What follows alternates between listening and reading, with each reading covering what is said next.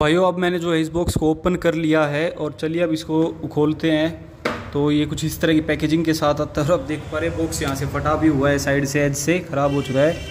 पर कोई बात नहीं, चलिए प्रोडक्ट ठीक होना चाहिए। तो ऐसे कुछ हमें इशूज़ इसमें मिले हैं। तो चलिए इन्हें देखते निकाल के कि हमारे साइज़ के फ़िट के अकॉर्डिंग ये आए हैं या गलत है, क्या है।